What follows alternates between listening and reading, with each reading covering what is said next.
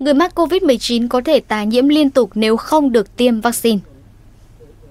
Vâng thưa quý vị, một kết quả nghiên cứu về đại dịch COVID-19 mới công bố cho thấy con người có thể tái mắc bệnh sau mỗi 16 tháng nếu không được tiêm vaccine COVID-19. Nghiên cứu trên do giáo sư Jeffrey Townsend và các cộng sự tại Đại học John của Mỹ thực hiện. Nghiên cứu được đăng trên tạp chí y khoa danh tiếng The Lancet đầu tháng 10. Nhóm nghiên cứu cho biết tình trạng tái nhiễm sẽ phổ biến hơn khi hệ miễn dịch suy giảm hiệu lực. Trước đó, một số nghiên cứu đã chỉ ra khả năng miễn dịch tự nhiên trước COVID-19 suy giảm qua thời gian.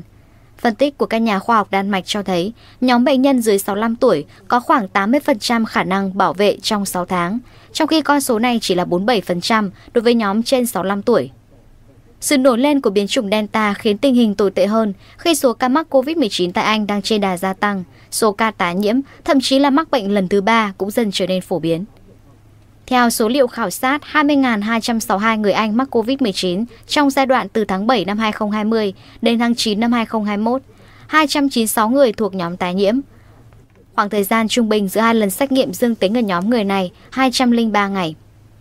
Tình trạng tái nhiễm cũng được ghi nhận tại Mỹ. Hồi tháng 9, bang Oklahoma với dân số khoảng 3,9 triệu người đã ghi nhận tới 5.229 ca mắc COVID-19 trong tháng 9 Tỷ lệ số ca tái nhiễm trên 100.000 dân ở bang này trong tháng qua gia tăng 350% so với tháng 5.